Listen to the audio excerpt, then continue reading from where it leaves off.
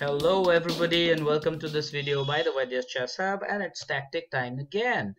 In this particular position it is black to play and black is winning here but the important thing is do you see how. I recommend that you take about 3 to 5 minutes give yourself that time uh, to find out the winning continuation for black and if you want you can pause the video now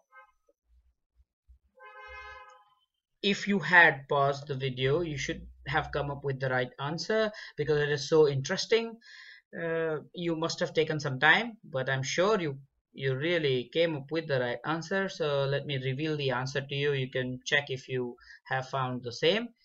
Uh, the, the move is knight takes e3 the idea is that now black threatens queen to g2 mate. You would notice white has a couple of queens on the board but the point is that they are not well coordinated so they really cannot give a good check.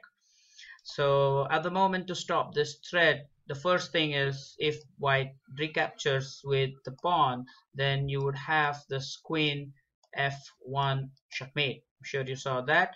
And if the queen recaptures the knight do you see Yes, now you have queen d1 check. The only square for the white king is g2 and after that queen f1 is checkmate. Notice how this pawn stops the king from escaping to the f3 square.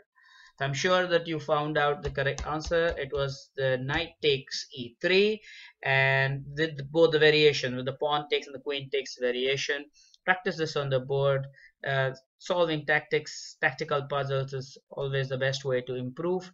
Um, and I'm sure you enjoyed this. Well if you really think that we are doing a good job then give it a thumbs up subscribe to our channel.